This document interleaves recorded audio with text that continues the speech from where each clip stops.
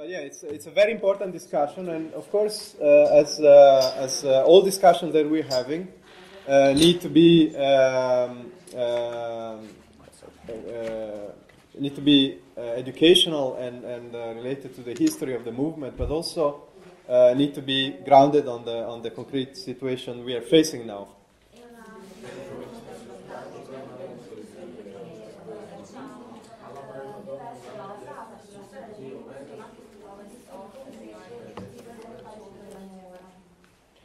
And, and the national question is, uh, is of course, uh, a very important issue in, in the overall crisis of capitalism, which, and it's erupting everywhere.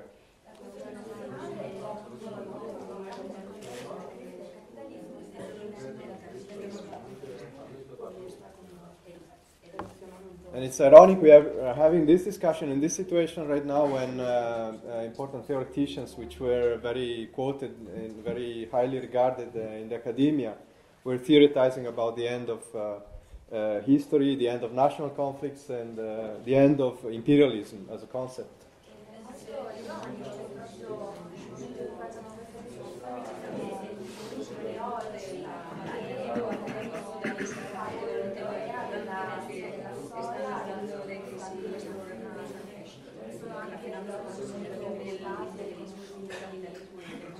It's not such a long a long time uh, ago that uh, Negri and Hardt were theorizing the end of imperialism.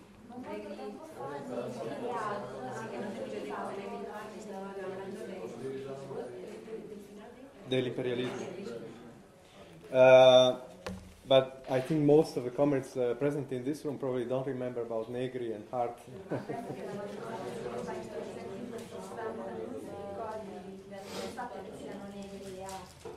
Yeah, we're seeing uh, as uh, the crisis of capitalism uh, fold uh, the re-emergence of uh, national conflicts, uh, the re-emergence of the national question in a more acute way everywhere in the world.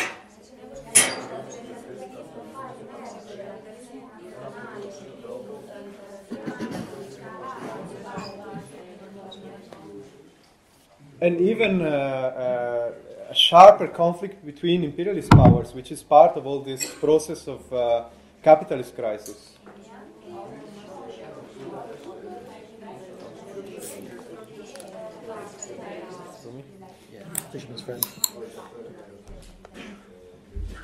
Uh, and, and in the case of the crisis of the Euro- European Union, uh, we're seeing uh, how national antagonism and different imperialist powers uh, and interests uh, within the European Union are are colliding uh, at a time of crisis.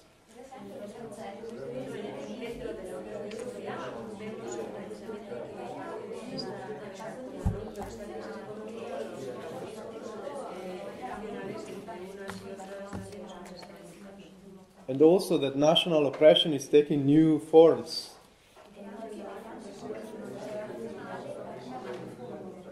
And uh, in, in, a, in a yeah, in new ways, uh, it's emerging as a problem within the European Union, in the case of Greece, for example.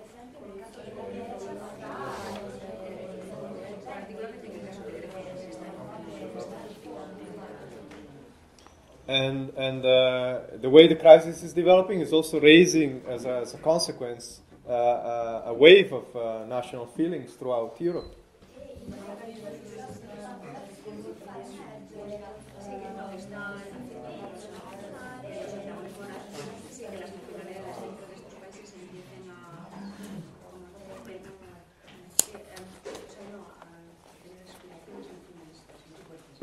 And so uh, the Marxist approach toward the national question uh, is, uh, is as important as ever and uh, probably even more important than, uh, than in the past, if, if possible.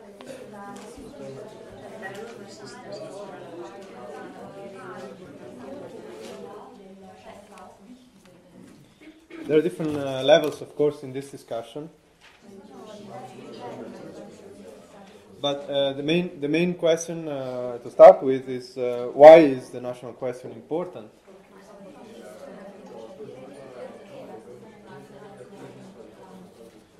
Because uh, the national question is not being resolved by capitalism.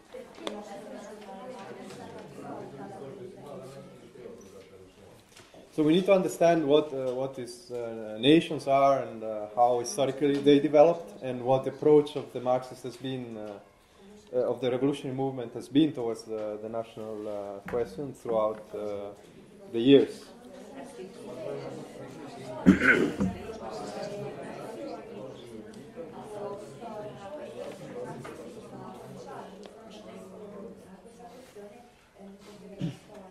And, and the first uh, question is to understand that nations are not uh, are quite a relatively recent uh, development.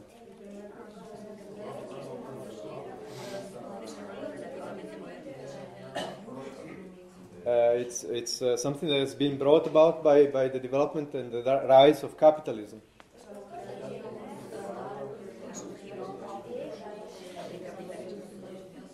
And didn't exist before in the same uh, in the same way. Um, and so, what, what is a nation? Uh, what is uh, Marx's definition of a nation or a national state?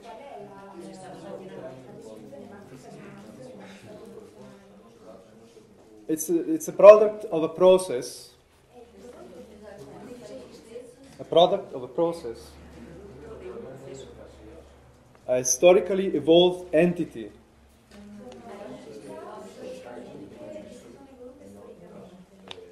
So nations uh, come about, uh, they didn't exist before, but they are formed under certain cir- circumstances.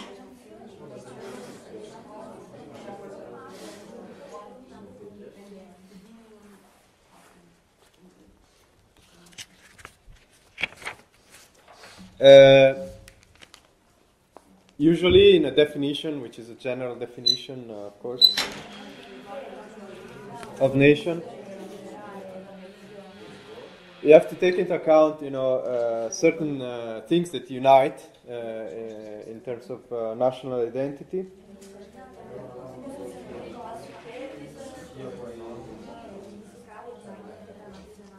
But this historically developed uh, formation uh, the nation uh, develops uh, on, on, the on the grounds of a community of language, usually, although there are exceptions.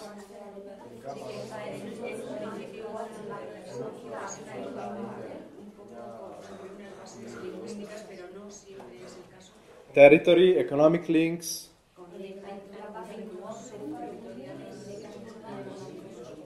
and culture.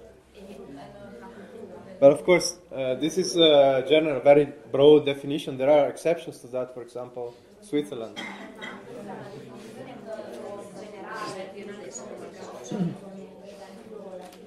Where there is no common language, I mean, there are uh, common languages, but uh, there are three main languages.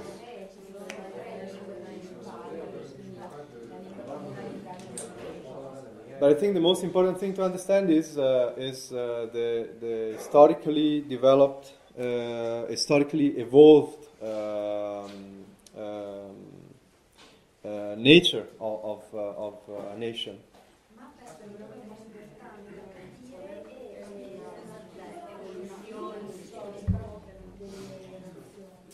And, and the formation of nations has not been a peaceful process.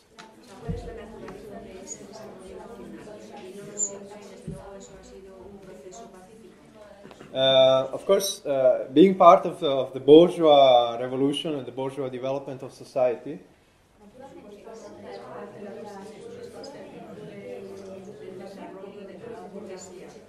the bourgeoisie has always uh, attempted to portray nations as, as something eternal that uh, legitimize their, their own position.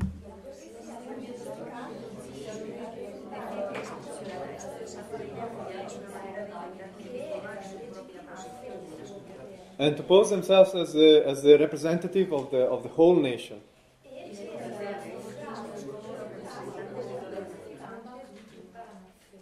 So also, also history has been affected. The, the uh, uh, historiography has been affected, uh, of course, by this nationalist attempt to to portray nations as something eternal, to look for roots.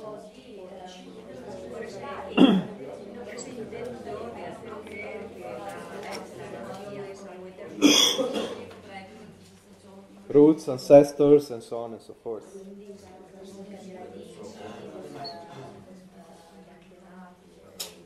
The, the original role of na- uh, nations has been uh, the formation of the national state and so on has been uh, an important progressive uh, feature of, of the bourgeois revolution.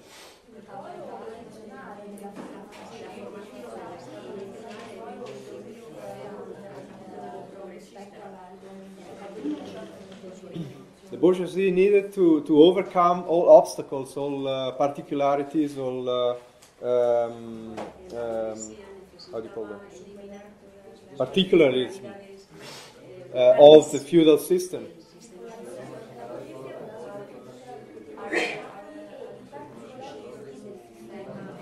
In order to, to unify and, and uh, enlarge uh, their markets uh, into, into a, a, a national uh, state and a national market,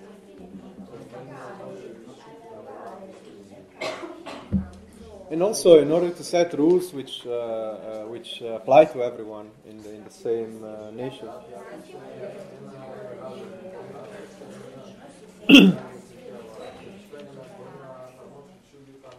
and as I said, the process of formation of uh, the national states has not been a peaceful one.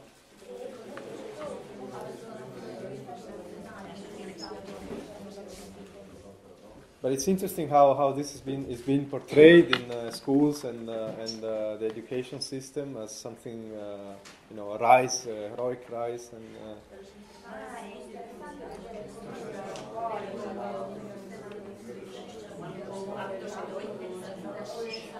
usually usually all all the pain uh, in the process is kind of hidden uh, behind uh, a thick wall of rhetoric.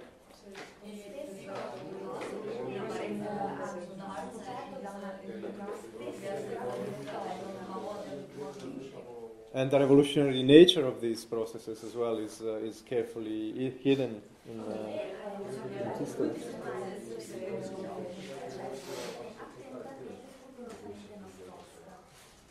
But for example, of course, uh, the the center of the of the uh, process of uh, uh, the formation of the nation states in Europe has been uh, the French Revolution. Although, of course, there were nations before, especially uh, Holland and, and England were already national states of some sort.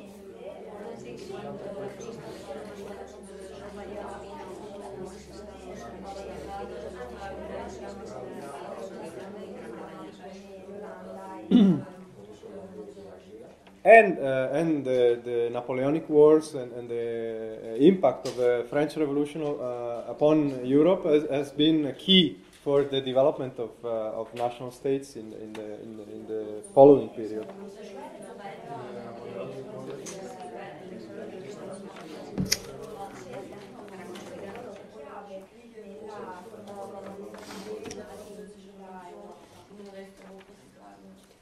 Uh, the destruction of the uh, feudal ties, the destruction of all uh, particularism uh, has been uh, wiped away with uh, revolutionary methods by the bourgeoisie.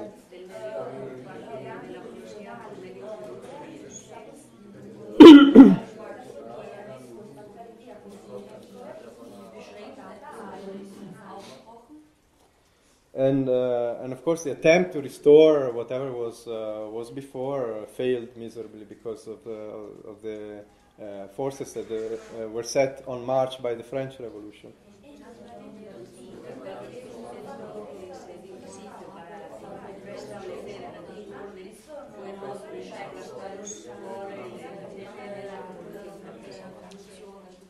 So, for example, the Vienna Congress restored a number of uh, monarchies in, uh, after the defeat of Napoleon.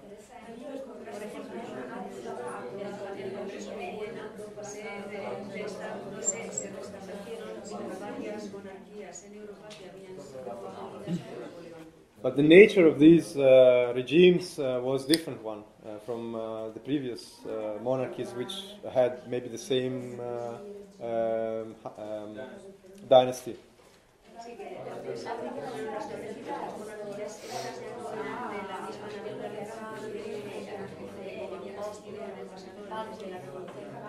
And the, ca- the bourgeois character of, of the new states uh, was, uh, was uh, much clearer with the bourgeoisie uh, as, as the ruling class.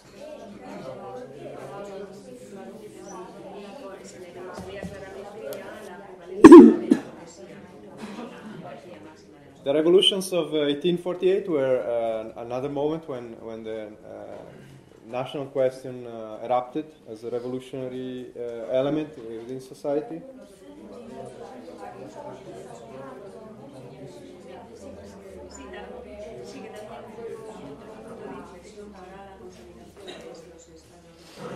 For example, in Italian, uh, you, you, say uh, è un 48 to, uh, to, to um, underline that it's kind of revolutionary or uh, chaotic event.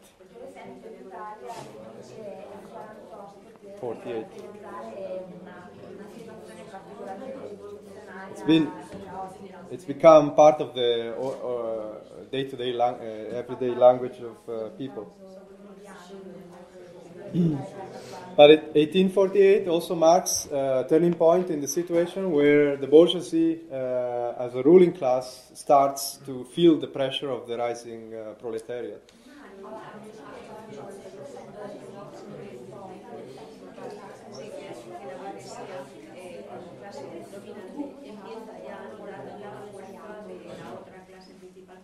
And becomes afraid of, uh, of these forces that cannot control anymore. The revolutions are pushed forward by, by the, the working class, the, the proletariat.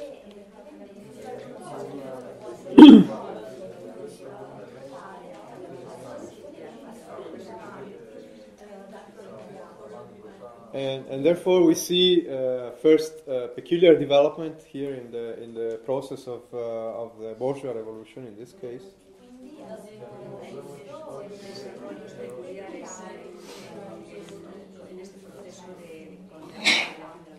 which uh, uh, uh, bore consequences that we are still uh, facing, basically.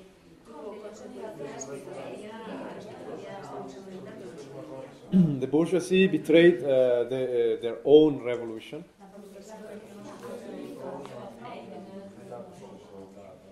And because of the fear that, that the process would escape to their control in Germany, uh, in, uh, in, uh, in, Italy to a certain extent.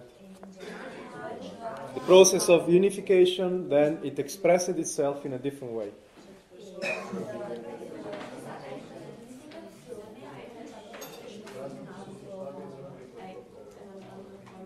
So, for example, we, uh, we saw a peculiar development uh, of uh, different of, of the development of national states through uh, a combination of revolutionary and reactionary features.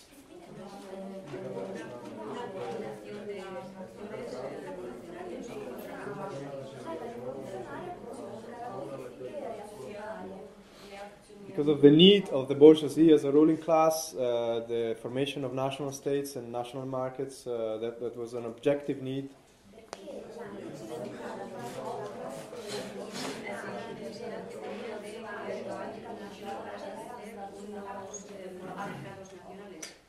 But subjectively, the bourgeoisie was also scared of, uh, of carrying out the transformation or, or the unification process through by uh, revolutionary means, as in the past.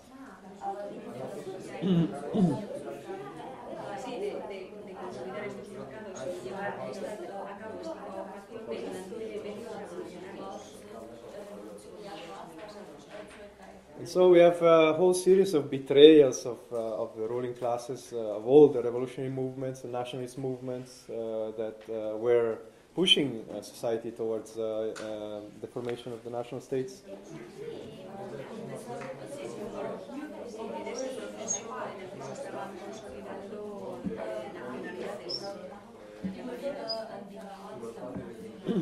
For example, the betrayal of the Roman Republic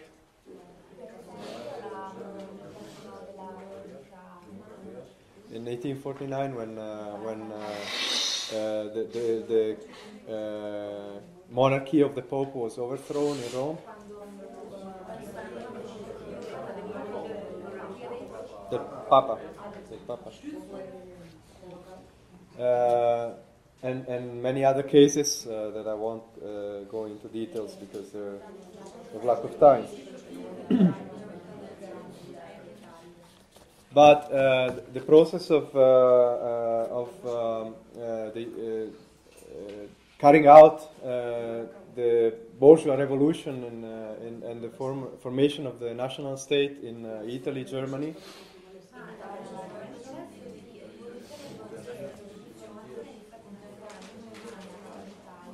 Uh, because of the inability uh, of the revolutionary forces to, to carry it out, was carried out uh, by, by reactionary forces.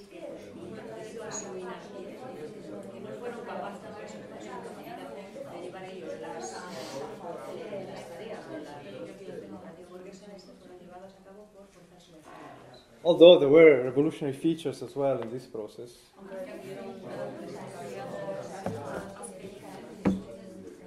But in the case of Germany, the, the country was unified by, by war uh, and uh, conquest, uh, part of uh, Prussia.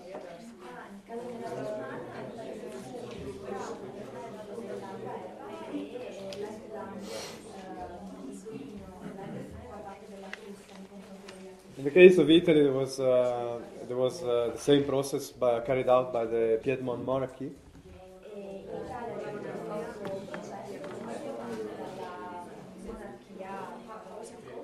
Piedmont, uh, the Savoia, Savoy monarchy. Uh, and, and that, uh, of course, had consequences uh, in, in, uh, to the extent of, uh, of the progressive nature of the new states, how much the, the working class and, and the masses were involved in the process, and so on and so forth.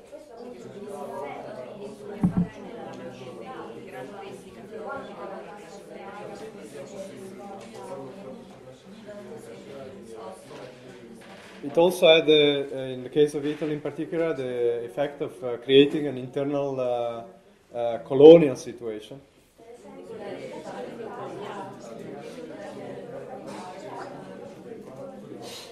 Uh, because of the, the, the unification was, uh, was achieved by, by military means mainly.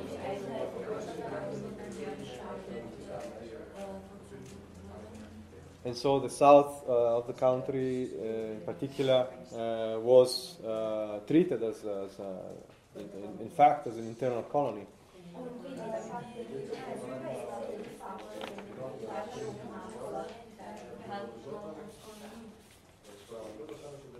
And of course, uh, Marx uh, approach towards all these process was uh, processes was one of critical support because of the progressive feature of national unification.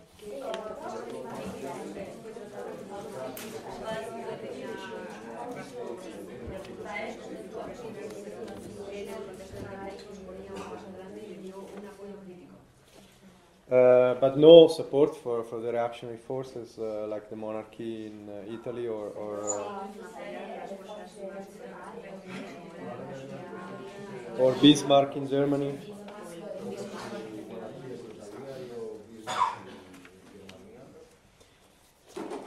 Uh, but uh, and, and, and, also we've seen other peculiar processes, like uh, for example the uh, transformation of uh, of the feudal system in uh, in Japan into into a capitalist state.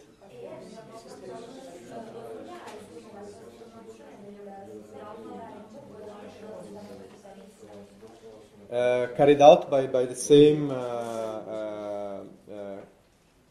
ruling ruling elite and, and, and the emperor.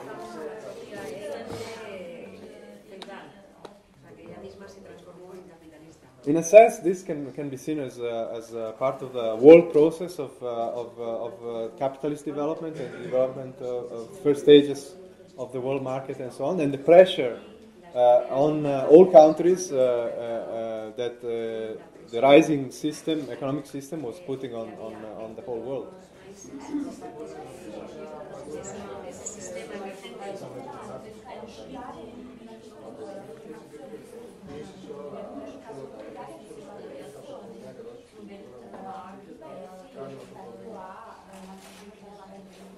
But from 1848, uh, the bourgeoisie as a class uh, has had exhausted uh, its uh, revolutionary role in society.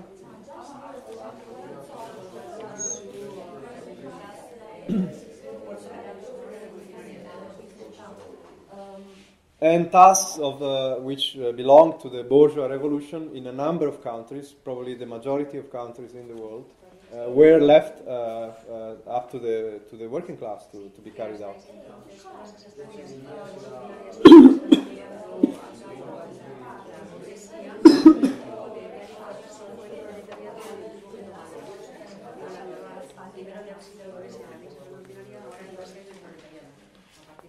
But of course, there was a, a, a long period uh, where the working class uh, worldwide didn't have enough uh, strength and forces to, to pose uh, herself at the, at the head of, of this process.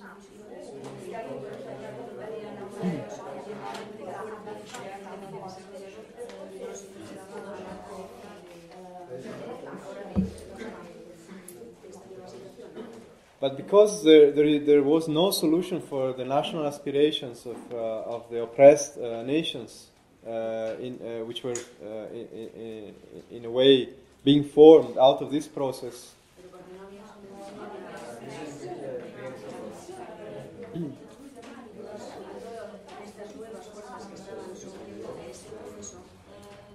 The national question uh, played uh, an important role in the revolutionary process and is still playing, uh, although a distorted role.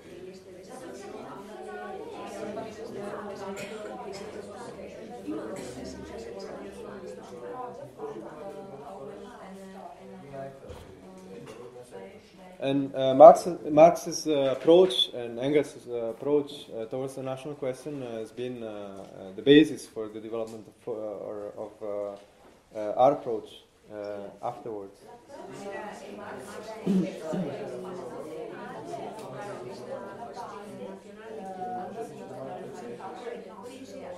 Marx and Engels' approach is the basis of uh, today's approach towards the national um, the first international was formed as a consequence uh, of the wave of international solidarity towards the uprising in Poland in 1863.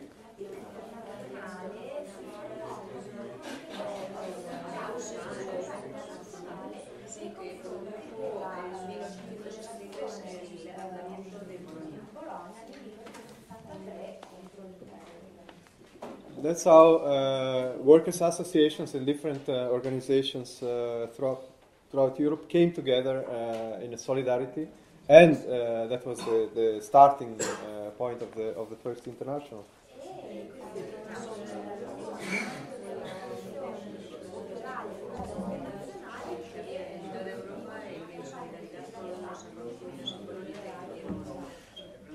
First International was very diverse from the from the point of view of the ideology. There were Marx and Engels, of course, but also uh, utopian socialists and anarchists, uh, Proudhon, and even uh, bourgeois nationalists.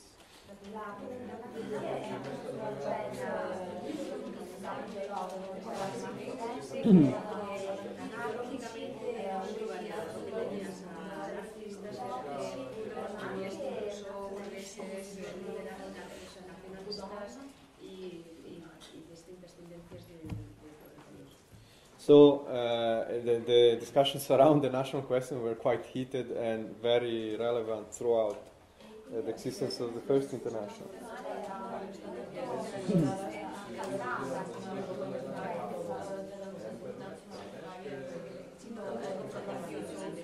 and in a sense, we see there uh, in uh, uh, embryonic form or even more developed form all the elements of the discussions on the national questions that I've been repeating uh, uh, after.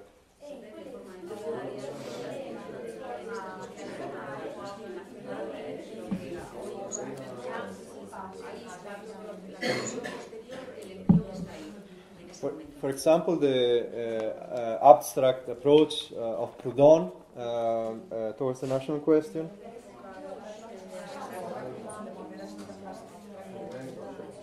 And the Proudhonis had uh, quite uh, an important uh, role in the General Council of the First International.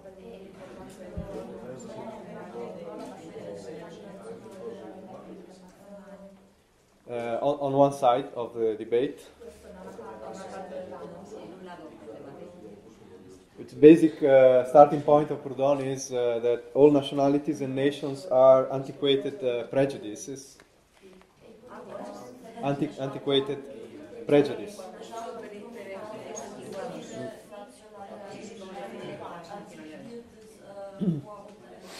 Absurdity is uh, something that is not really relevant for, for the working class.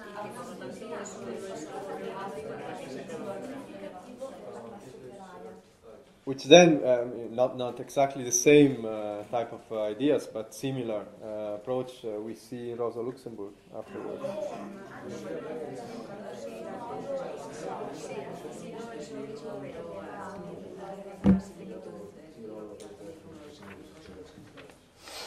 Uh, to, to which, uh, of course, Marx argued and, and replied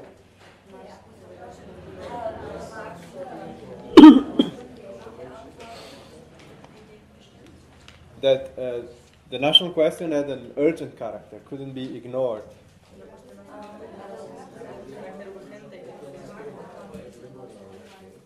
For example, in a letter to Engels, uh, he uh, said that uh, when the, the believers uh, in Proudhon, Proudhon supporters, Proudhon supporters in the General Council, when they think that all Europe can and should sit quietly and peacefully.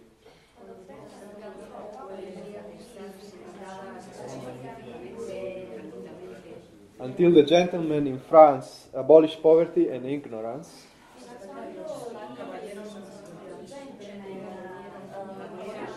abolish uh, poverty and ignorance.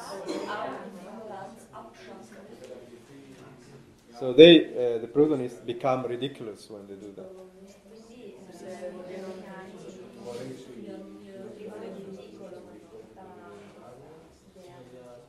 On the other side, there were, of course, the nationalists, the Italian nationalists like Garibaldi, Mazzini, and so on.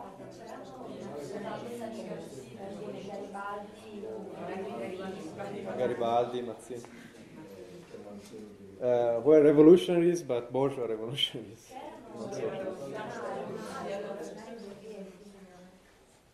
Uh, so you can imagine how this uh, was a vital question in, uh, in the first international.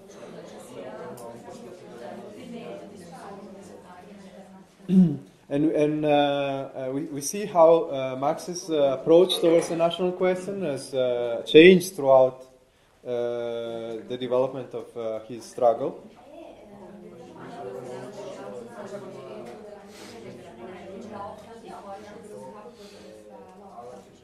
Or to, to say be- better, not, not, the, not the approach, but uh, the positions have changed in relation to this or that specific problem.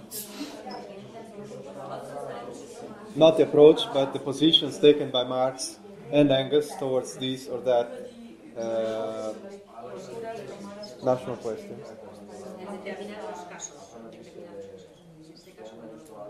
But the general approach was, uh, was always uh, based on uh, the general interests of uh, and determined by the general strategy for uh, world revolution.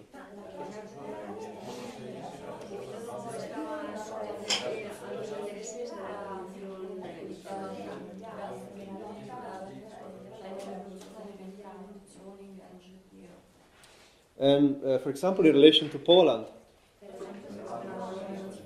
uh, as I said, the Polish uh, uprising of 1863 played an important role in, indirectly uh, of, of uh, triggering the formation of the First International.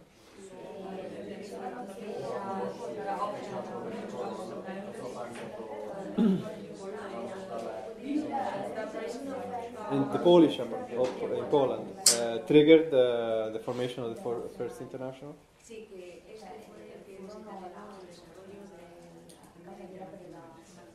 But uh, the leadership of the Polish uh, nationalist movement was reactionary uh.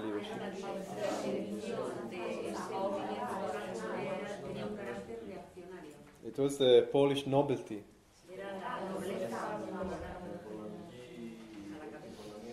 But Marx uh, supported uh, even independence for Poland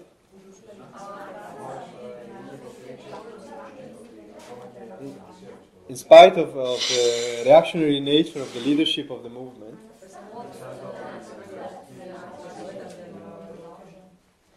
because of, uh, of uh, uh, because of the, the appraisal of the situation that the, the Polish uh, independence would be uh, a blow towards uh, Russia, Tsarist Russia.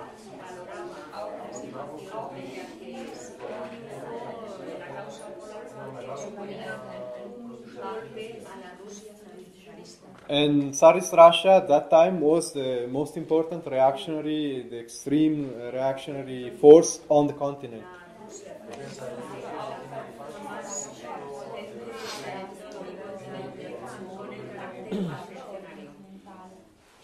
Uh, but for example, uh, this shows also the, the flexible approach towards the national uh, uh questions.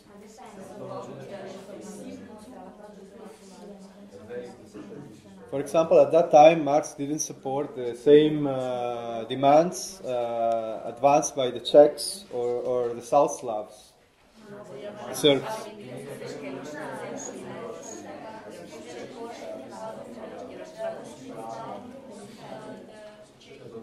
Because these uh, these uh, demands, uh, part of uh, the Czechs and the South Slavs, were uh, part of uh, of the of the attempt by Russian imperialism to to play their games in, in Europe. They were basing themselves on that.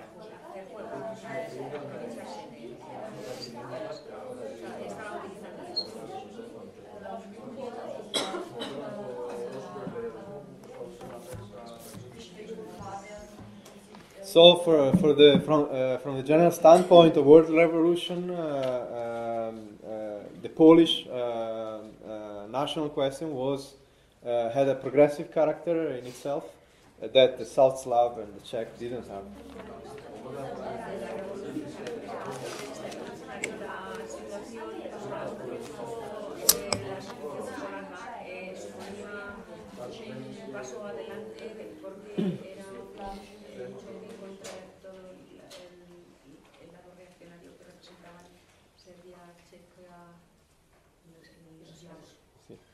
Another another important example of Marx's uh, approach is the uh, the Franco-Prussian uh, War and German independence process.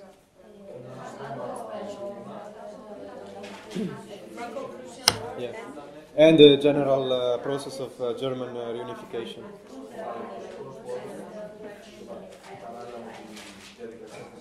Of course, of course, they were supporting critically the, the German reunification process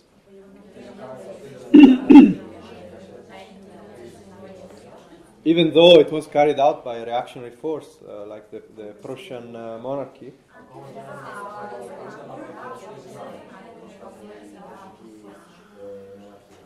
An attempt by Bonapartist France to, to, to stop or, or uh, cut off this process of German reunification.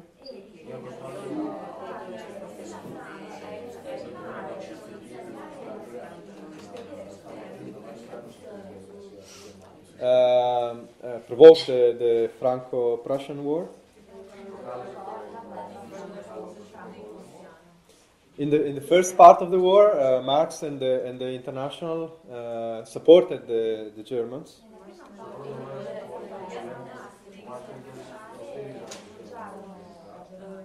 Um, by saying that, uh, uh, the, of course, that was a defensive war on part of Germany.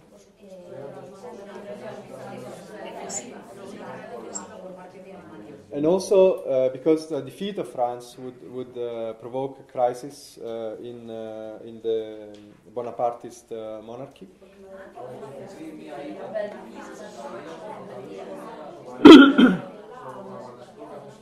which, uh, which of course happened in October 1870 when, when the monarchy was overthrown.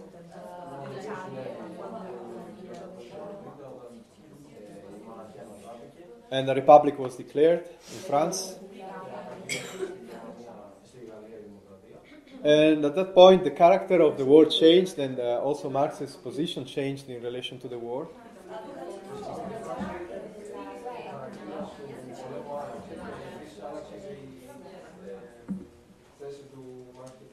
For example, uh, Marx opposed the annexation of Alsace-Lorraine by, by the, the Germans, by the Prussians. Opposed the seizure, the annexation of Alsace-Lorraine, that is, uh, yeah,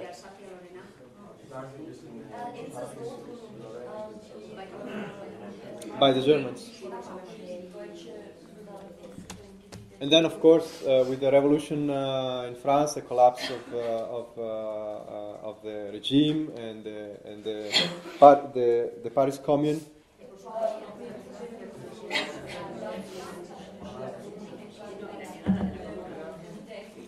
Uh, position in relation to the war uh, changed uh, quite a lot.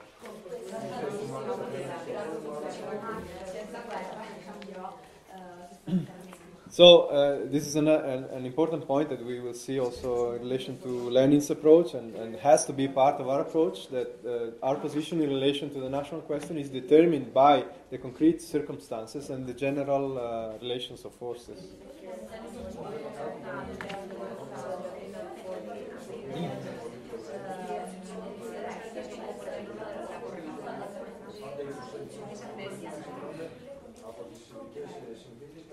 Another important uh, example of Marx's approach is uh, Ireland.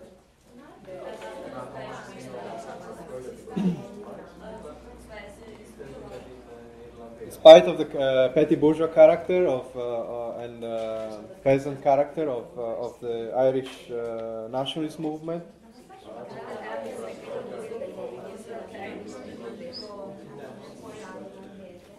of course, the general position that Marx has uh, uh, developed throughout was of supporting uh, the national aspirations of the Irish people.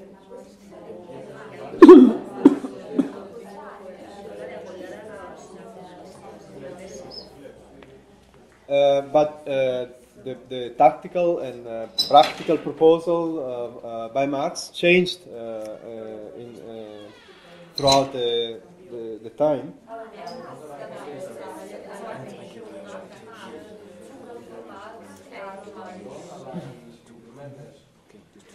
So, for example, uh, when, when in Britain, in England, uh, uh, there was a revolutionary uprising and a revolutionary development, uh, a rise of the working class in the around 1848, 49 with the Chartists.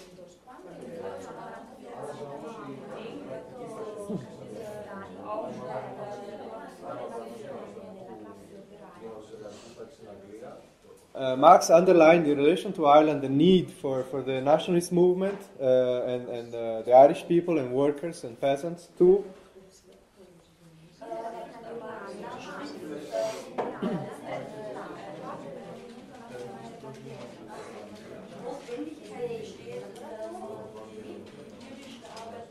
to unite with the, with the English uh, workers and to support the, the, the People's Charter's demand.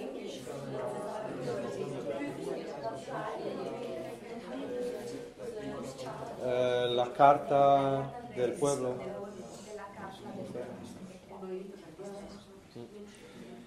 Um,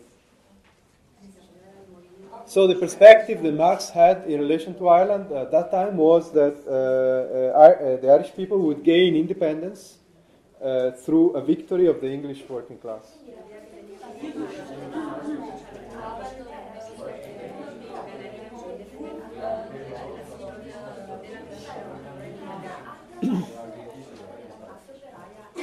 And the perspective was one of uh, voluntary federation of Ireland, uh, England, Scotland, and Wales.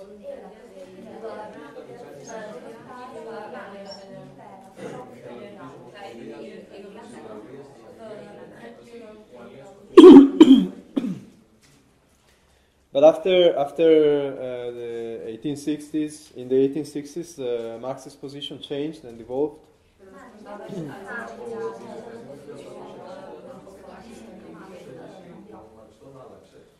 Um, uh, because uh, re- he realized that uh, the Irish uh, struggle could not wait for, for, for a solution to be provided by the, the British working class.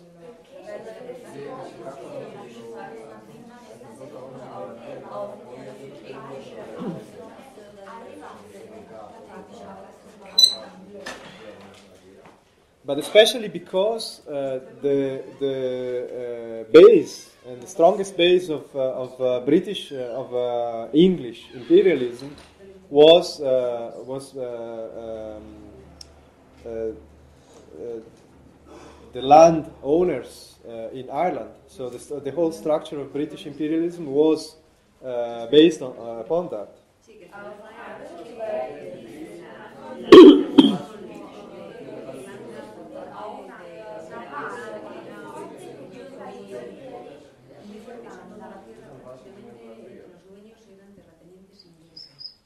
And and uh, and England was a bulwark of landlordism and uh, European capitalism.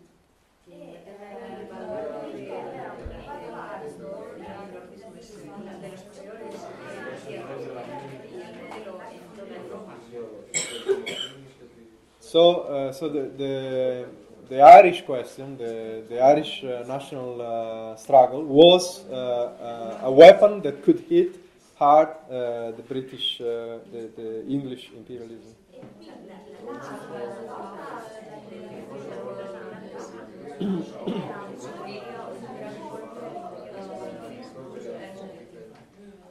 And I think here is uh, probably one of the first uh, times that uh, the right of uh, nations for self-determination, the classical slogan uh, that we know, uh, has been formulated.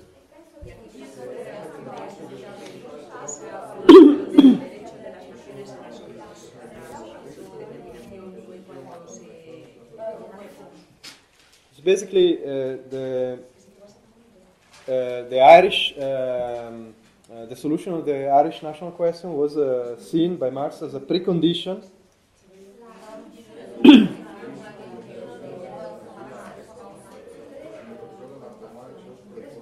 a precondition to the emancipation of English working class.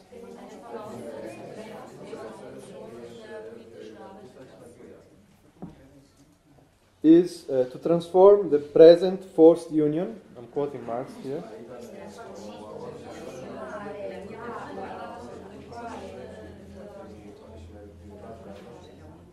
into an equal and free confederation if possible.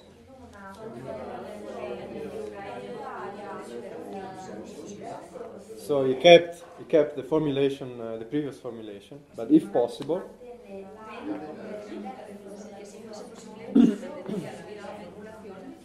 or into complete separation if need be.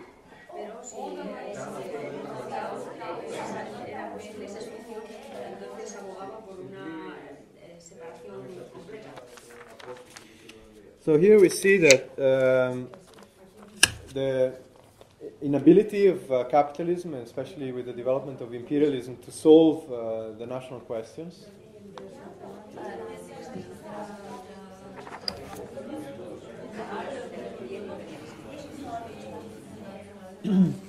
uh, puts the, the, the question of uh, uh, oppressed nationalities as uh, part of the combustible material, which is part of the process of world revolution.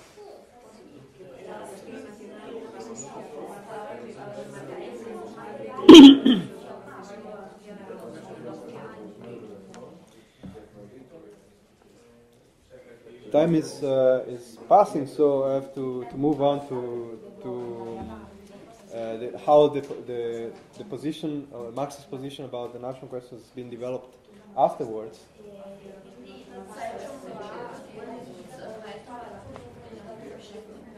But I think that we can see how mo- um, the most important elements of Marx's uh, of the approach by revolutionaries towards the national question were laid by Marx and Engels already.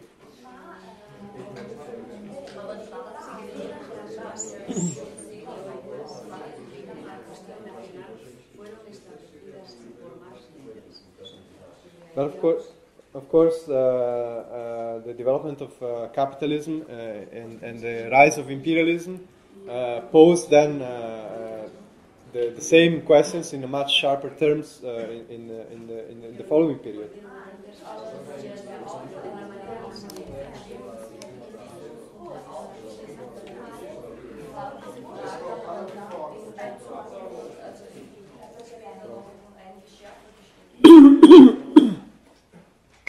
Um, yesterday, in uh, the commission about Zimmerwald, uh, there was a mention about the, the debates in the Second International uh, relation to the national question.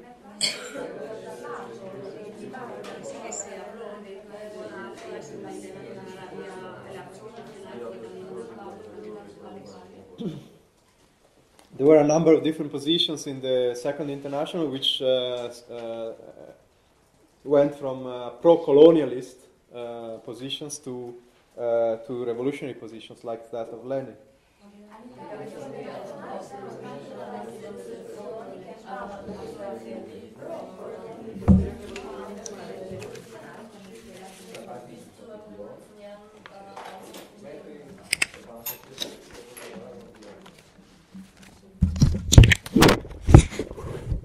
Sorry.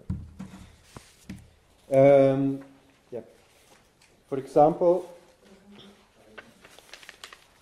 the position uh, by uh, the Dutch delegates in the in the congresses uh, of the Second International.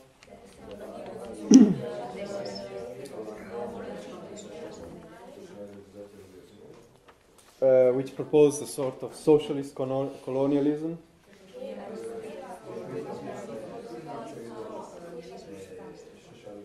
Defending uh, the need for colonies even after revolutionary uh, um, taking of power by the working class.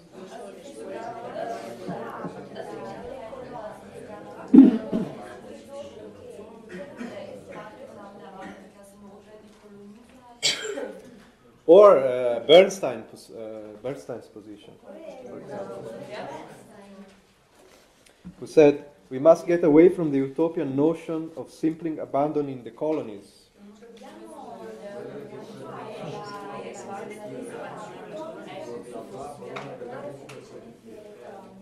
And socialists, uh, too, should acknowledge the need for civilized peoples to act somewhat like the guardians of the uncivilized.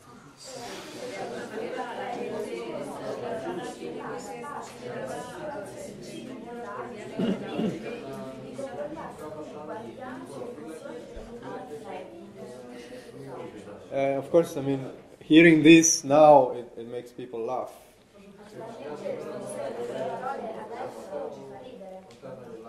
But uh, this, the, this type of positions were part of the, of the positions uh, upheld in the Second International, and the international leadership wasn't challenging them at all. It was part of, wasn't challenging them. Kautsky and the leadership of the Second International, they never uh, challenged uh, these type of positions.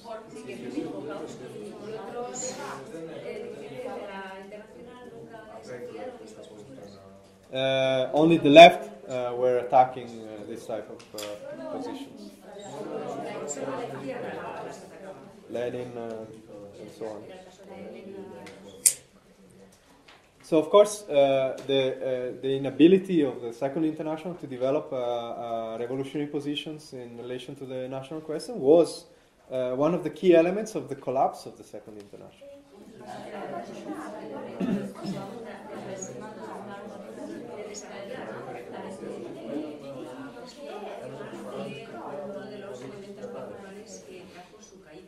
Of course, uh, the the, the nature of the Second International and the parties uh, compo- uh, which were part, the Social Democracy and so on in Germany. Uh, yeah, the nature of these parties was one formally uh, adhering to, to the ideas of Marx.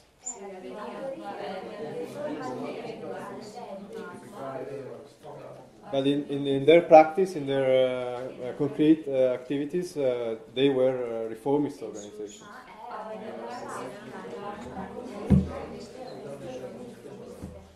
And I think one of the questions where it comes uh, more clearly uh, across the reformist nature and, and the social uh, imperialist uh, nature of, uh, of the leadership of uh, social democracy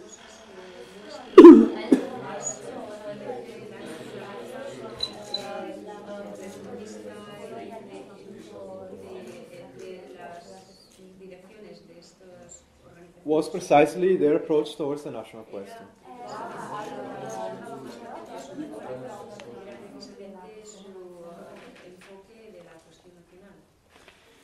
And uh, of course, the debates within the Second International, the polemics uh, waged by Lenin, uh, in particular, against uh, these positions.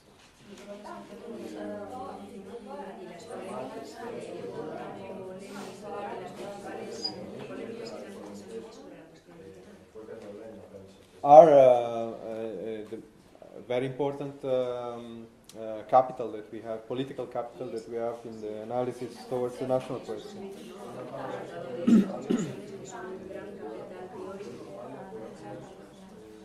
Other ideas uh, that were defended within the Second International was that of uh, the national cultural aut- autonomy. National, national cultural autonomy. which basically introduces a subjective element in, in, defining what is a nation and what is not a nation.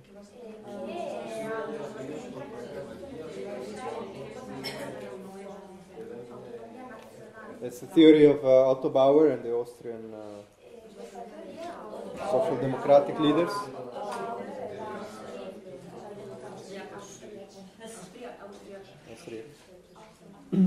And the, intro- the introduction of this approach uh, uh, within uh, the Austrian social democracy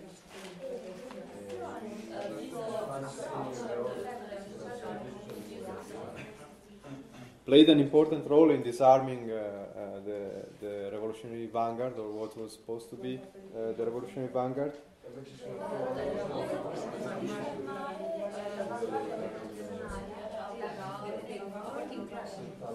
Yeah. and dividing uh, uh, the, this vanguard uh, along national lines.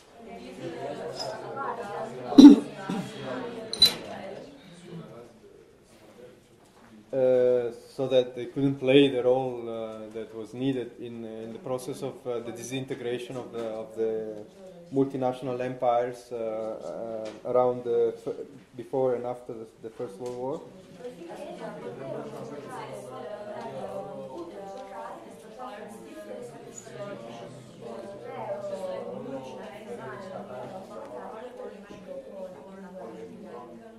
Then there was uh, the revolutionary position of Lenin,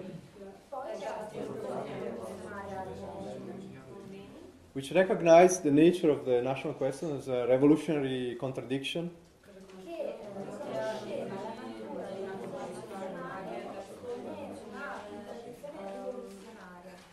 And the need to find a way to overcome uh, and unifying the, the working class as a, as a, as a, as a uh, unite body in the revolutionary process.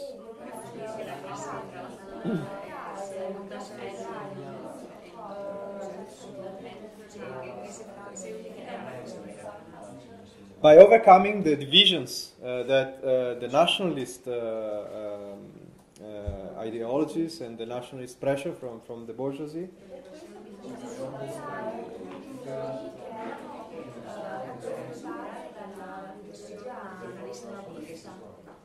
Were, were creating, that these pressures were creating.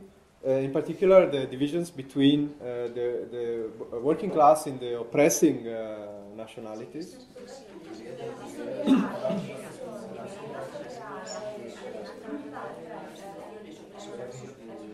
and the working class in the oppressed nationalities.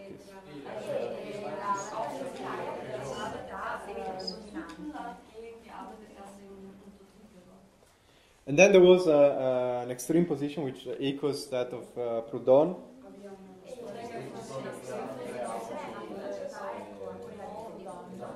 Uh, defended by the Polish, the Polish Social Democrats and Rosa Luxemburg in particular.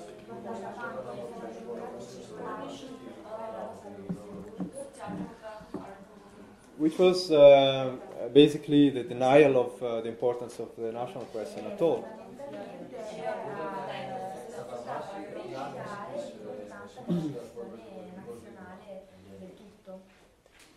And, and the polemic by Lenin was uh, addressed, of course, in different ways uh, towards uh, the uh, social nationalist, the, the social nationalist approach.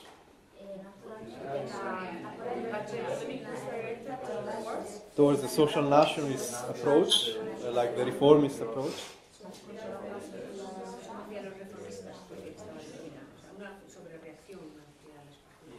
Basically, uh, uh, of uh, giving in to the pressure of the of the of, the, of their own bourgeoisies.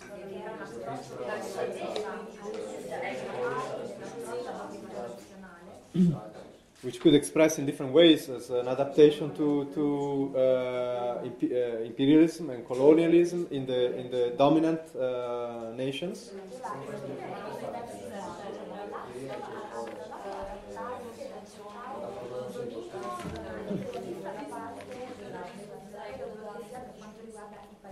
Or an adaptation to, to the national uh, petty bourgeois, uh, national revolutionary um, um, petty bourgeois uh, uh, leadership of, of, the, of the oppressed nations.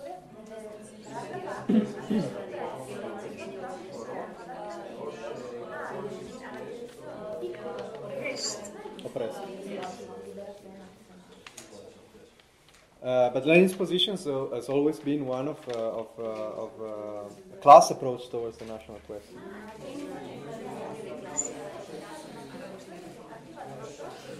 On the other side, the polemic uh, with Rosa Luxemburg was uh, in relation to the need to, to, for, for, for, for Marxists and revolutionaries to adopt in their program um, demands uh, towards the national question.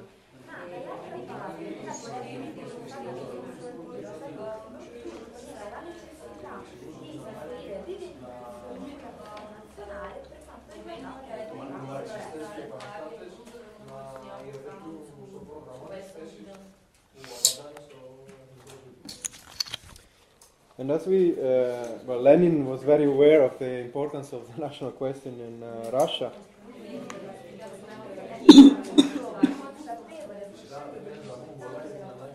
and in fact, the, the immaturity, uh, the defeat of the 1905 revolution was partially uh, due to, to the inability of, uh, of the revolutionary leadership to, to address the national question.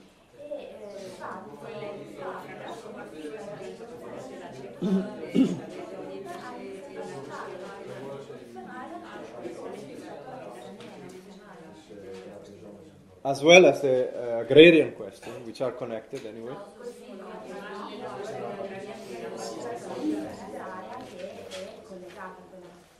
So, in the discussions within the Russian social democracy, uh, involving also the, the Polish, of course,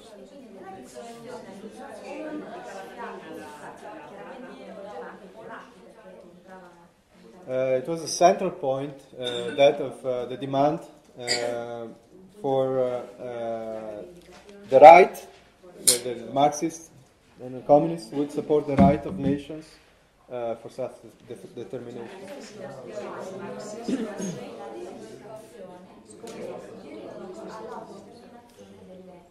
this was uh, the paragraph, the famous paragraph nine of, uh, of the program.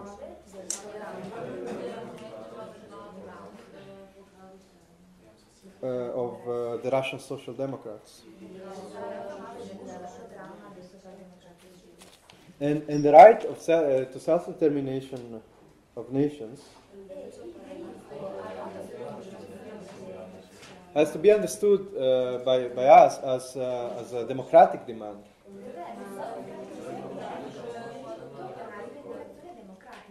It's not a socialist demand.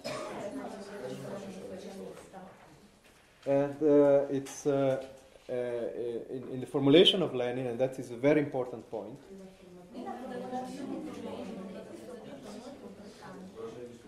Uh, around which a lot of polemics were waged and discussions were, were carried out.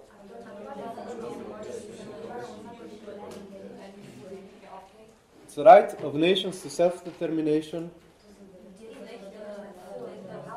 up and including separation.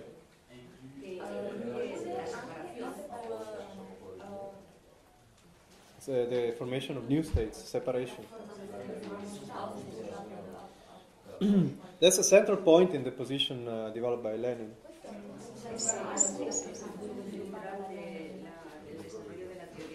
But this, uh, this has often uh, uh been misunderstood, uh, especially by sects of all sorts, as a, as a, as a demand that, uh, that uh, as a solution to the national question, there is only one way, which is separation.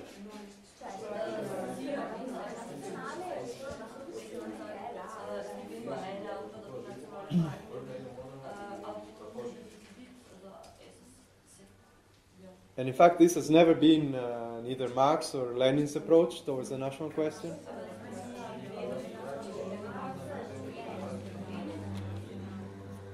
From a general historical point of view, uh, of course, the position of Marxists is, uh, is one of uh, overcoming divisions and, and particularism.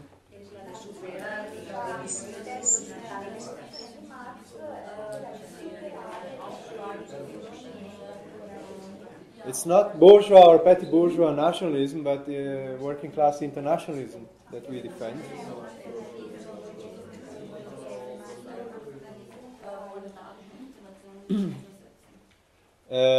But uh, because of the of the uh, the nature of the revolutionary process,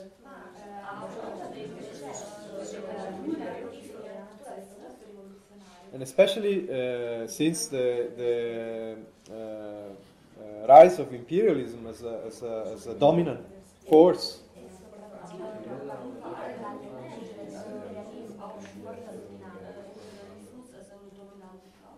Uh, the, the national questions in the press nationalities is, has become uh, uh, an important element in the, in, to take into account in the revolutionary strategy. that uh, the, the, question of the oppressed nationalities is a, a, very important part of the of the revolutionary strategy in order to overthrow capitalism and imperialism. And and because it's a it's a festering wound, it's never uh, it, it, will never be solved by by capitalism.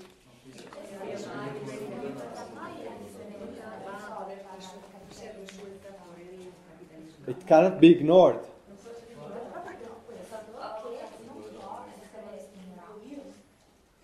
cannot be ignored, and, and therefore the approach of uh, the working class, the revolutionary class, towards the press nationalities is, uh, is a fundamental uh, part of the revolutionary program.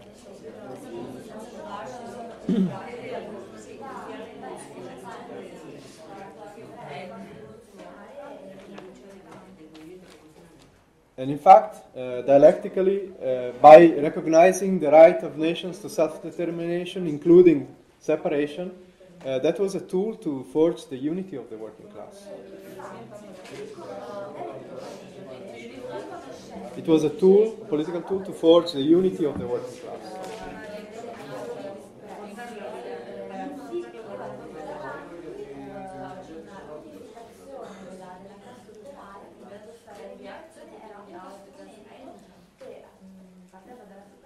And of course, uh, the working class as a, as a whole, uh, as a revolutionary class, uh, has different tasks,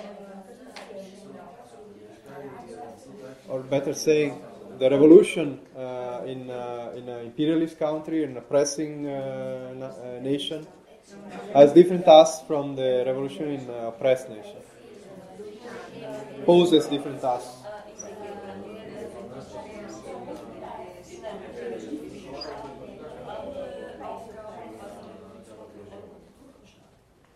The working class of the oppressed uh, nation needs to embrace uh, fully uh, this, the democratic right of, of the oppressed nationality.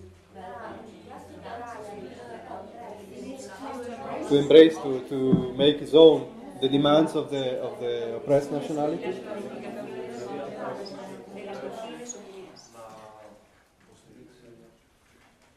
As a way to, to, to forge uh, and, uh, and uh, strengthen the links, the class solidarity between the two parts of the, of the same class.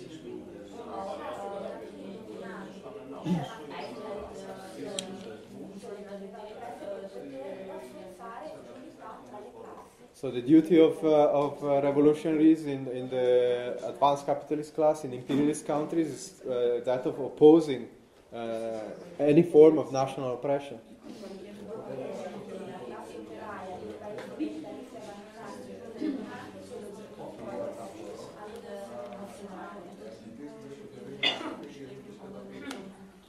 And that's an important point in Lenin's position that it's uh, mainly the approach towards the national question is a negative approach.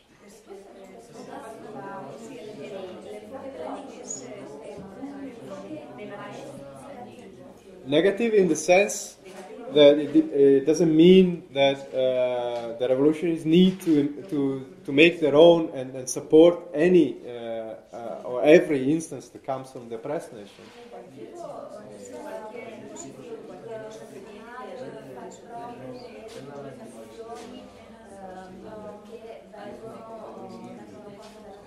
We need to separate what is progressive from what is reactionary at all times.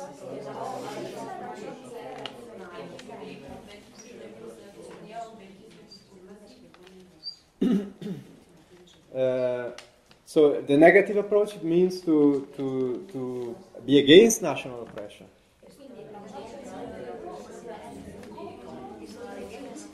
Be against something, not necessarily for something else. Against national oppression or any form of national oppression. And the task of the, of the revolutionary vanguard in the oppressed nationalities is one of um, merciless criticizing uh, the reactionary uh, aspects of, uh, of, uh, of uh, the national liberation uh, movement.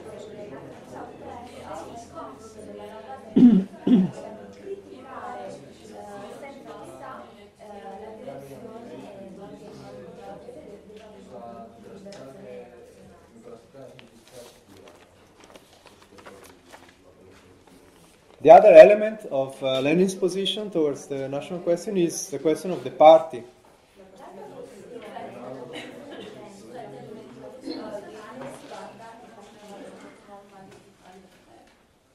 And the unity of the working class organizations and, uh, and uh,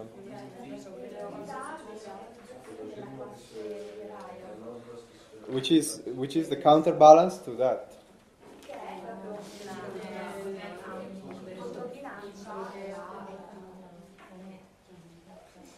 But in order, in order to achieve that, uh, every trace of uh, chauvinism or na- uh, nationalism on part of the uh, oppressed uh, op- uh, oppressor nation should be should be fought against and pushed out of the movement.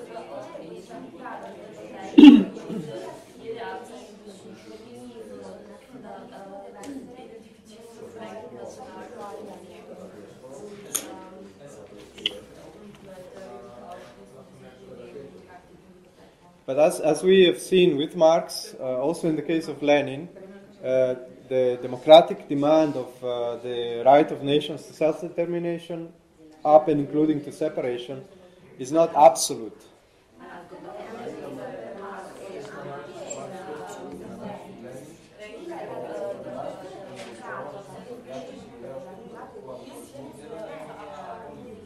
It's a position that cannot be applied automatically to every single uh, situation.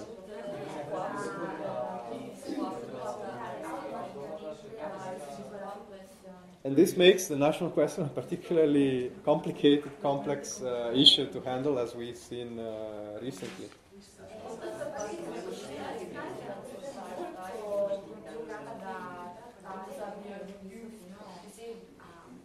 But I think the, the general uh, the, the, the, the, general uh, uh, basis of uh, Lenin's position, as for Marx, was to take into account the general interest of, uh, of the world revolutionary process. The, the, approach towards the national question has been a key for the revolutionary process that led to the to the October Revolution and and uh, the achievement and the victory of of October.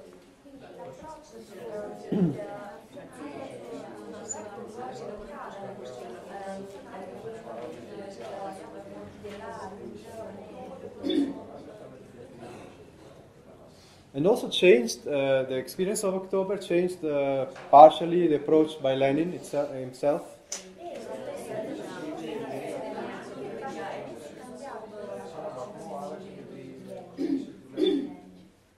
Um, because uh, before the October Revolution, Lenin somehow uh, thought that uh, some, or at least some, uh, of the national uh, questions could be solved within the limits of capitalism.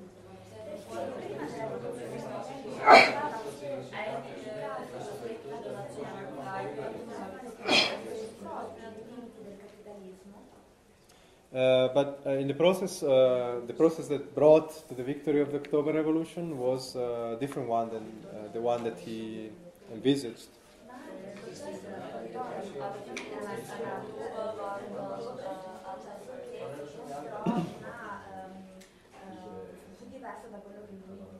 and, and exposed and revealed uh, the reactionary nature of, uh, of the petty bourgeois and bourgeois leadership of the nationalist movements uh, as well?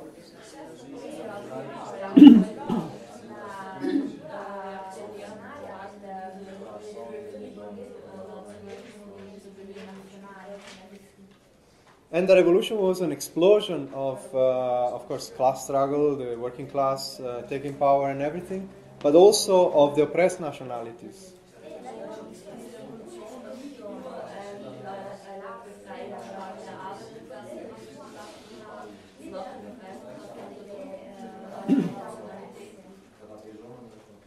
And the focal point of all this was uh, was the revolutionary working class, was the were the Soviets and, and, and, and, and the role of the working class, not not the petty bourgeoisie.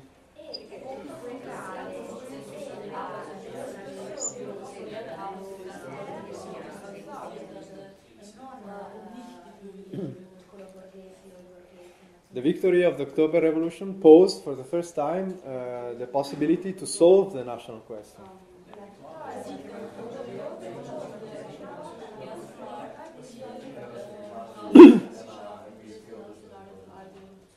And as in all fields, uh, there was a huge advance uh, uh, brought about by the revolution.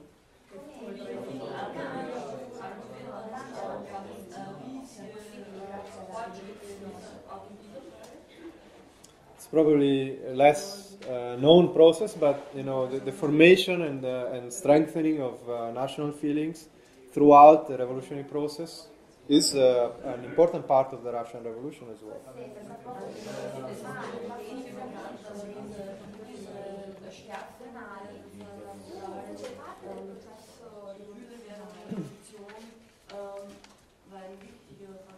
And the national feelings could, could have been used for reactionary purposes as well, and they have been used.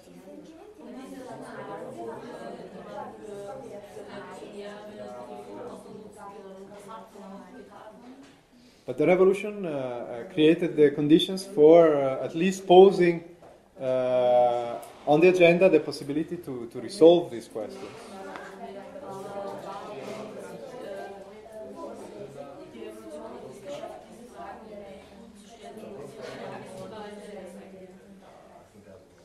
For example, uh, a number of uh, languages which were existing but didn't have any written form were formulated in a written form after the revolution.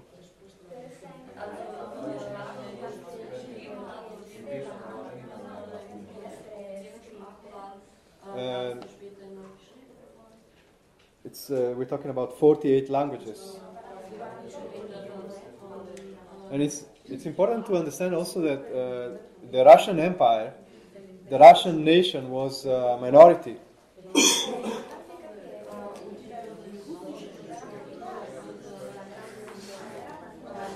it's about 43% of the population uh, were uh, great Russians.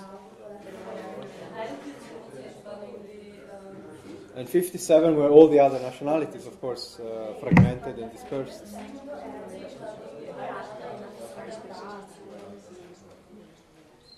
So the position on the national question was a key for, for the development of the revolution.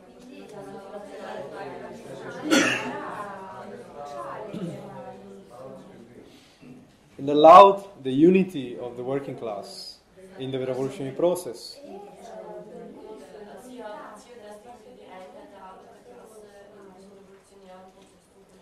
and that's why also uh, after the revolution, uh, the process of uh, unification into, into a confederation was uh, stormy, was uh, created conflicts of all sorts and so on, but uh, it led to, towards a sort of genuine unification.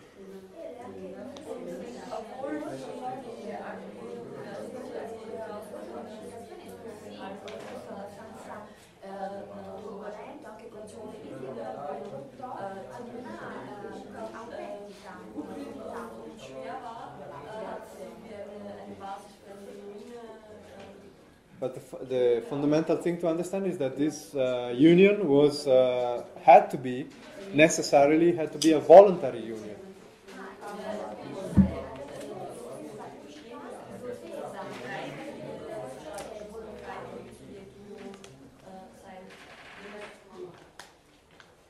The situation of the press nationalities under the Soviet Union, uh, the first part uh, of the Soviet Union,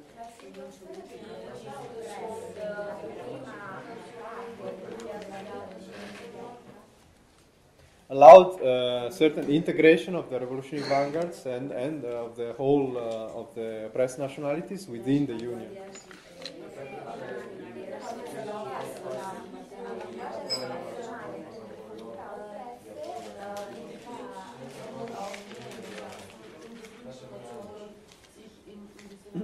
And, and Lenin's, en- Lenin's emphasis uh, while in, uh, in power was uh, uh, an all out war against great Russian uh, nationalism.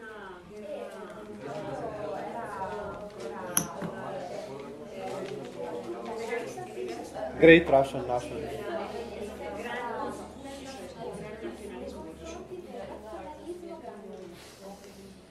The history of uh, the Russian Empire is uh, one of uh, uh, jailhouse of nationality and uh, extreme oppression of uh, the oppressed nationalities.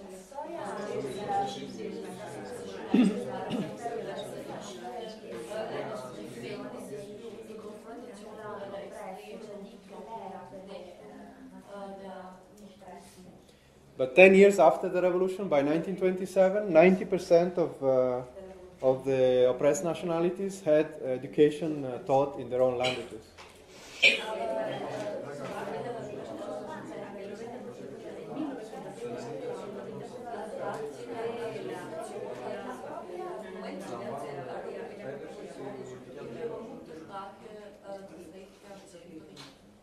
Um, and, and this, you know, under extremely difficult conditions uh, that we know, the first 10 years of the revolution.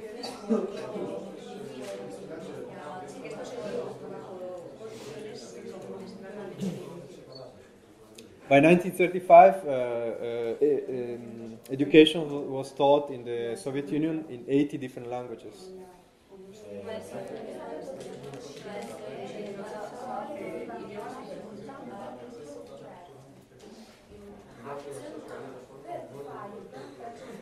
By 1935, yeah. It's a long wave of uh, the conquest, material conquest of the revolution.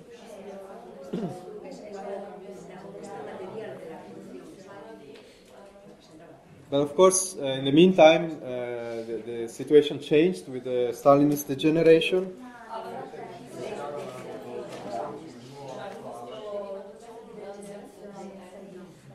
The bureaucratic degeneration of, uh, of the Soviet Union.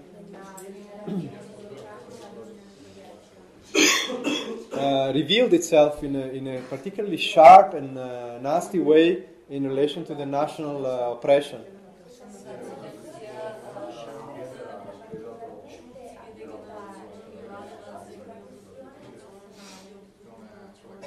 So the abandonment of an international perspective uh, by the by the Stalinist bureaucracy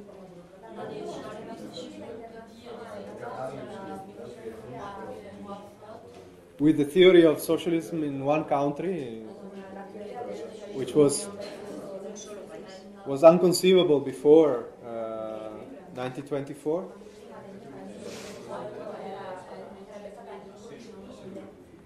Uh, obviously had a huge impact on the approach towards the national question.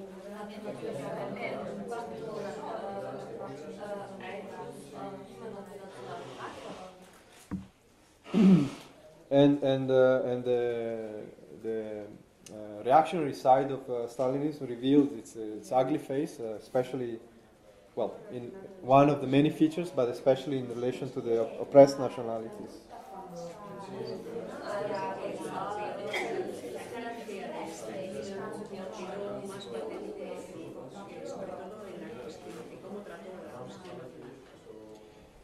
In 1922, uh, there was uh, a conflict between uh, Lenin and Stalin. And that's uh, Lenin's last battle before he died. And not by chance is in relation to, to how the national question was uh, treated.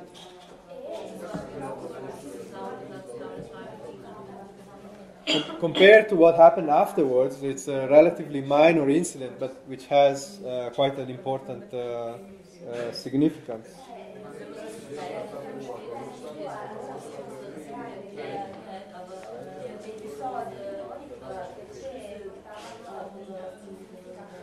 The attempt by Stalin to, to force through uh, the unification uh, and the, the, the, process of unifying uh, certain republics.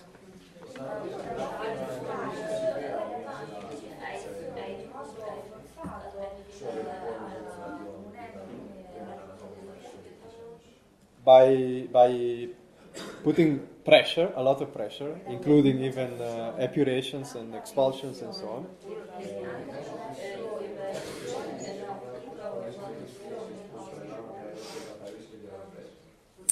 Uh, on the Georgian Republic.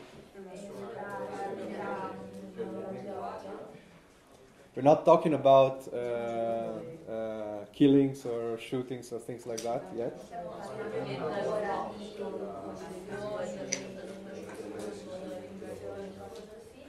Uh, but uh, a forceful attempt force uh, the Georgian leadership to, to enter uh, in, the, in the Union.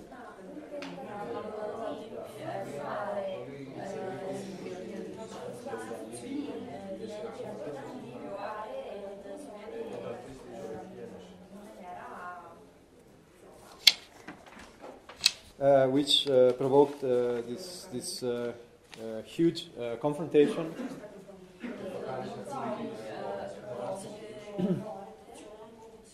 the, the rebellion of, of the leadership of, of the Georgian communists.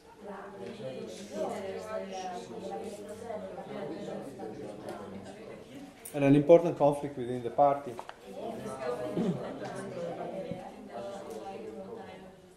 So this type of, uh, of behavior were alien to, to the tradition of uh, the Bolshevik party, the traditions of uh, Lenin.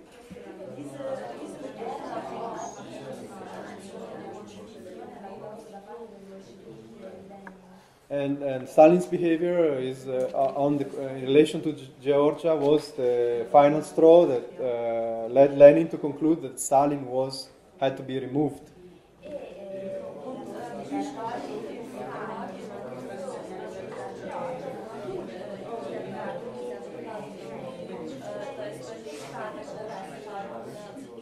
But of course, uh, we know because of uh, Lenin's illness, uh, all this uh, uh, couldn't, uh, couldn't, he couldn't fight this battle openly.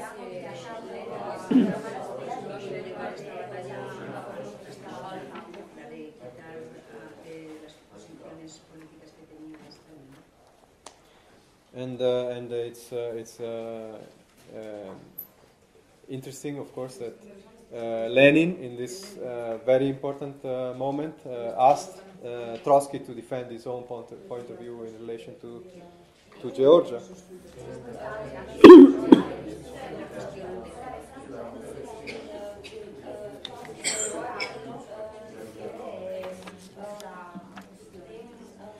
but but the most important point is that uh, the Soviet, uh, the Soviet uh, state could not afford, and the communists uh, could not afford to, to be identified uh, in the view of Lenin with uh, great Russian nationalism behavior.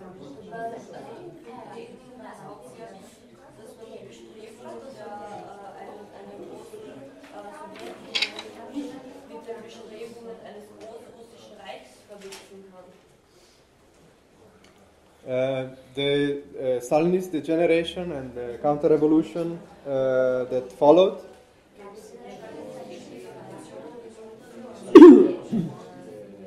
brought back all the all the Tsarist methods uh, in relation to the oppression of uh, nationalities, and even worse.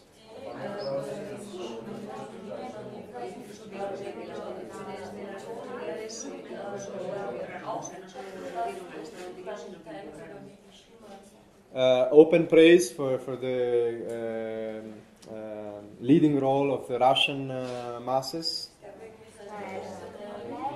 Open praise for the leading role of the, of the Russian nation within the Soviet Union.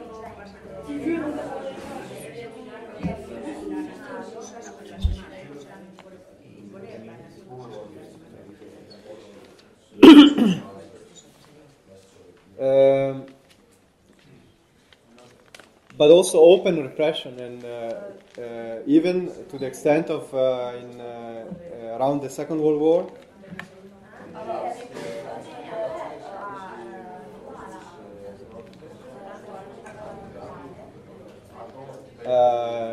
Reaching the point of deportations of whole peoples from their original place to, to Siberia, for example.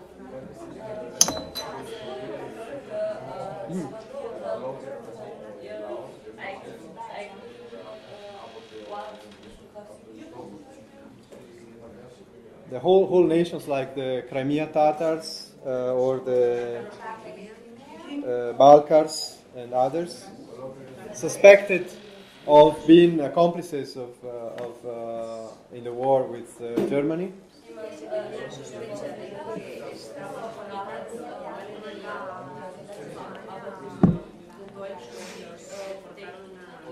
Were deported uh, to Siberia en masse, including uh, the Communist Party members and uh, everyone.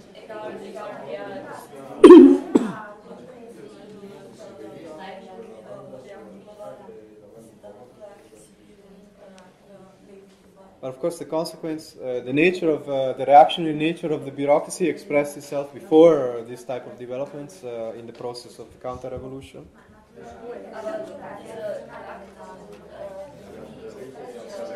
the reactionary nature of the bureaucracy expressed itself in the previous period also.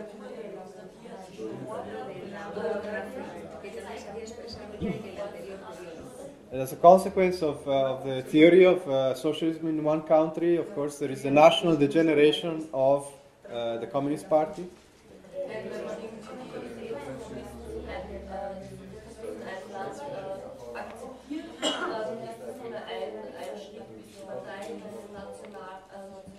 The interests of the bureaucracy express themselves in, uh, in the Russification of uh, all the different parties, uh, uh, uh even in uh, oppressed nationalities.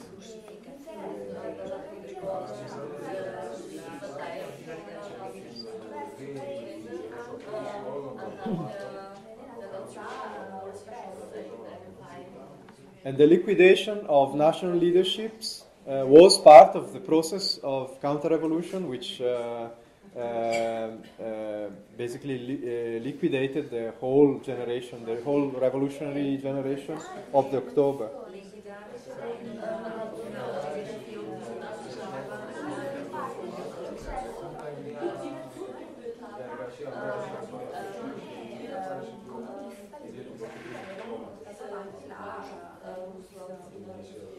The extreme violent nature of uh, and counter-revolutionary nature of Stalinism on this field also provoked uh, uh, the created the possibility for Nazi Germany to exploit uh, some of the uh, grievances, national grievances of some of the nationalities of the Soviet Union.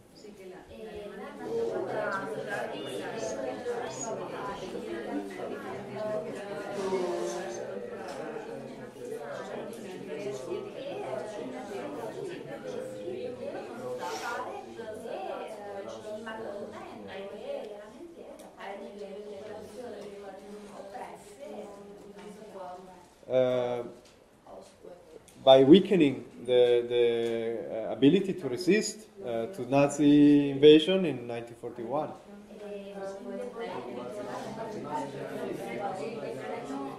Forty-one. Uh, the the Stalin uh, Hitler Pact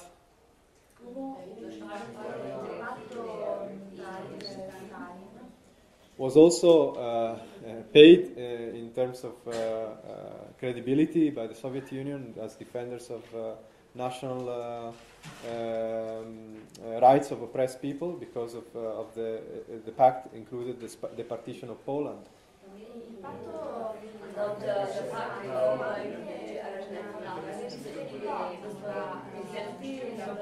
La partizione della Polonia.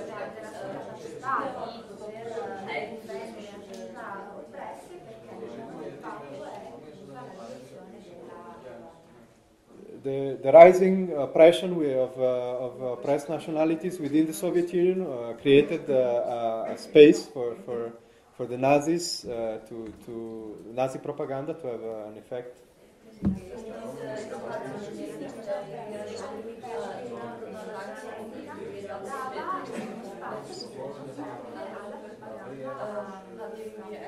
And especially in the Ukraine, which is a, was a key country of the Soviet uh, republics.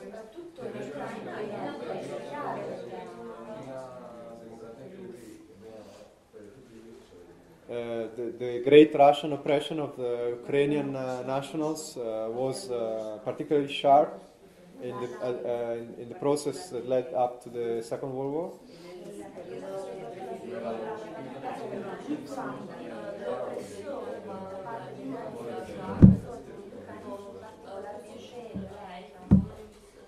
So we saw the development of, uh, of uh, particularly um, uh, uh, strong uh, um, collaborationist uh, forces within the Ukrainian population. Colaboracionistas con los nazis.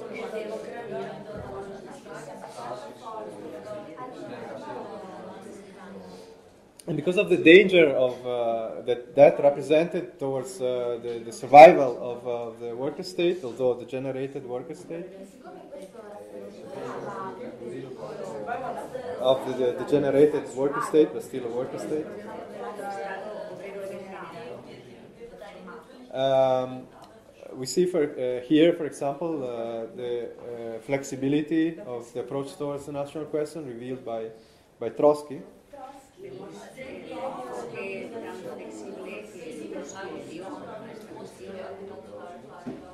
who proposed the demand of uh, an independent Soviet uh, Ukraine as a, as a demand in order to cut off uh, this process.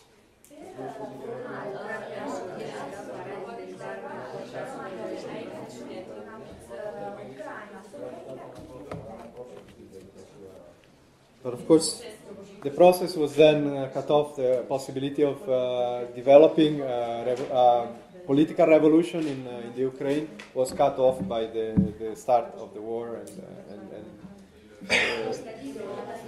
next developments.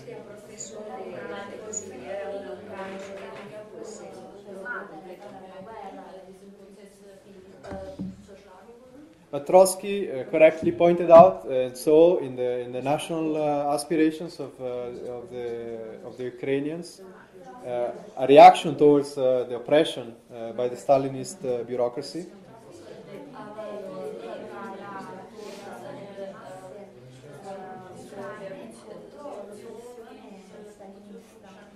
Which could lead to, to revolutionary development there.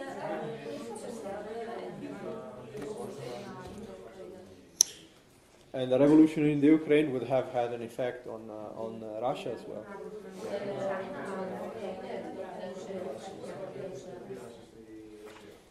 So to sum up, because I am uh, finishing my time, uh, the national questions has always been and uh, will be an, an important part of our discussions.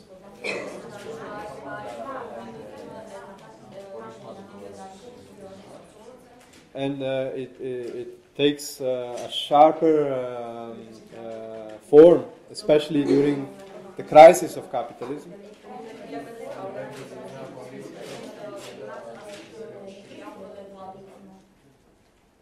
Uh, uh, but in all cases, uh, our approach towards the national question needs to be a sensitive approach, of course. Sensitive approach.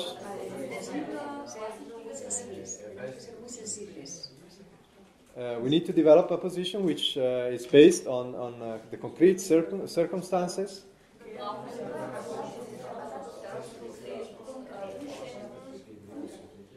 And especially the, the general uh, the general interests of, uh, of uh, the strategy for world revolution.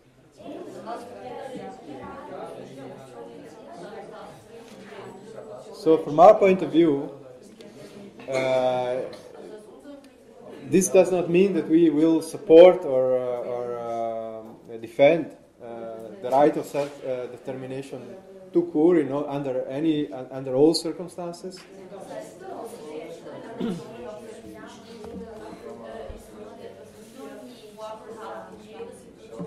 and that our position should be one of uh, supporting uh, the demands for independence or opposing that uh, necessarily. Or opposing it. Each, uh, in each case, we need to approach uh, and determine uh, our position on, on, on by analyzing the living forces that are at play in, in in the development of the national question.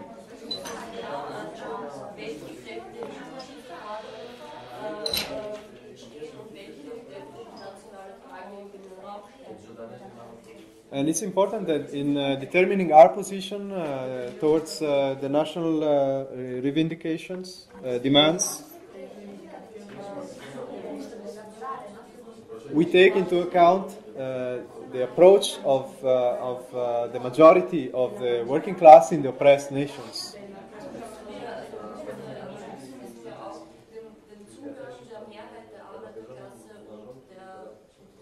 And that we also understand that it's not a question of principle whether to support this or that uh, democratic demand.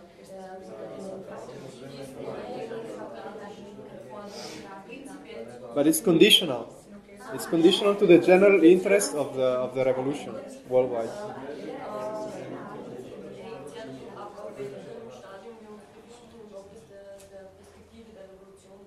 And in the epoch of the crisis of imperialism, of course, uh, the uh, national uh, demands can be and have been used for reactionary purposes as, well.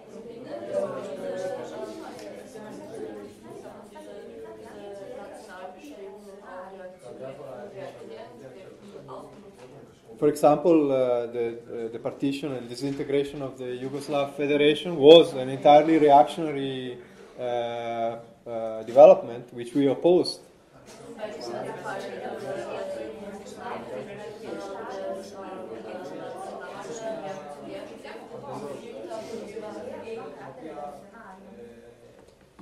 Uh, because of the of the given circumstances in which it happened.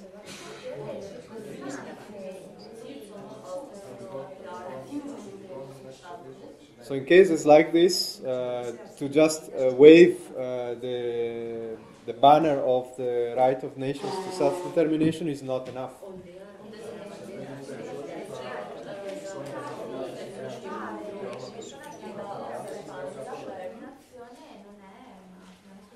But we should also see uh, what is the revolutionary, the revolutionary uh, potential and the revolutionary role that the national question is playing in in the general crisis of capitalism, as it has been revealed uh, recently in Scotland, for example.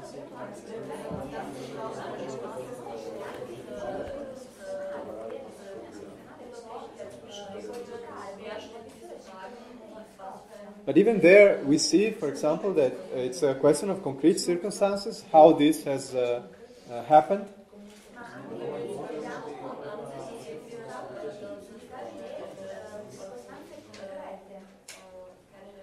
In in, uh, in another case, for example, in relation to Catalonia, we saw the rise of, uh, of a powerful movement for independence just a couple of years ago.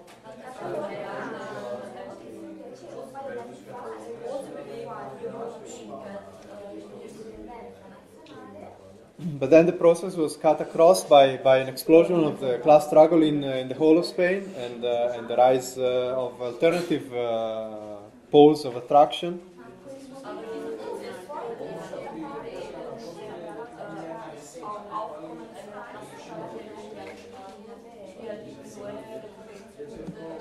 So now the national questions has gone to, to, to the background. It's still there. It will uh, play a role in the future, but it's, uh, it's, it's gone to the background for a while.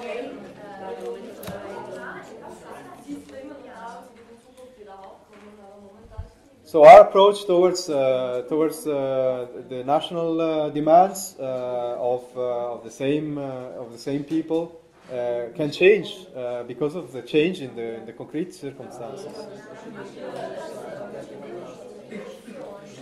Like that of Marx, of Lenin, of Trotsky, of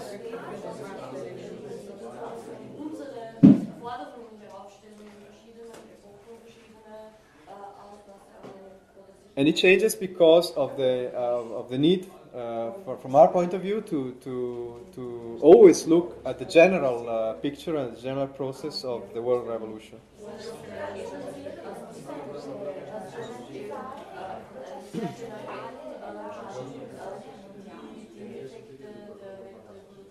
in the, in, the, in, in the next days there will be other sessions about black nationalism, about the Scottish uh, question, in order to get more in-depth understanding.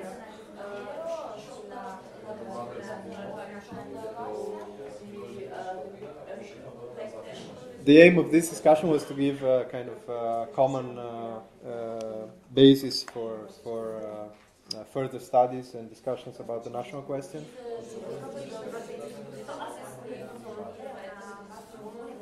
Uh, and I'll stop it here.